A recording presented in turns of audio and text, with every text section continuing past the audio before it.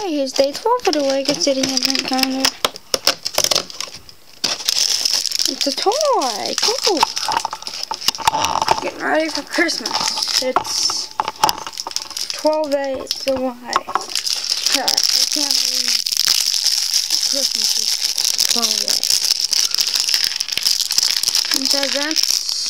So that's at the halfway point, guys.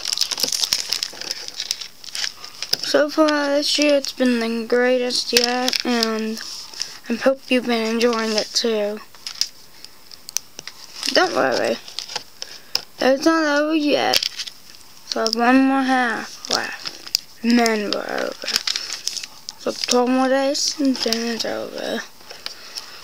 And then we'll start all the Lego reviews that, of the sets I'm getting for Christmas. Because remember, I hate to practice, so I know every set that I'm getting. Know every Christmas present I'm getting.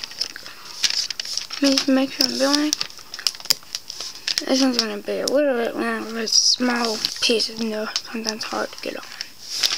Alright, well here it is. It's a little remote control. Anyway, I'll see you tomorrow. Thanks for watching.